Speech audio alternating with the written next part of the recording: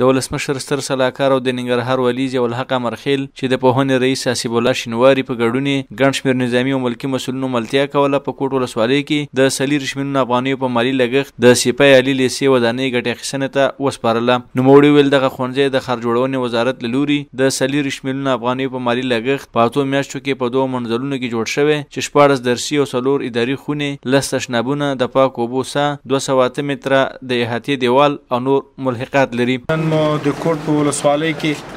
د یو مهمې پروژې چې هغه د علم د مکتب او همدارنګه د معرفت په برخه کې ګټوره ده نن مو یو د مکتب افتتاح درلودله چې دا د شهرسازۍ د وزارت له خوا نه جوړ شوی ده په حدود د څلوېښت میلیون افغانیو چې ډیر عصري معیاري او همدارنګه مجهز ده. زه د دې مکتب افتتاح ټولو کوټوالو ته مبارکي وم امیدوار یم چې د دې څخه په ښه شکل حفاظت وسی ساتنه وسی او د وی ټولنې خوشبختی په دې کې ده چې هغه خپل ماشومان مکتب ته ولېږي او د مکتبونو او د علمي مرکزونو تر شا ولسونه ودرېږي دا د ولسونو خوشبختی ده د ننګرهار والي وویل چې علمي پروژې د ډېر اهمیت وړ دي او د سیمې له خلکو یې وغوښتل چې په ساتلو او ښې ګټې اخیستنې کې یې مسؤلینو سره همکاري وکړي.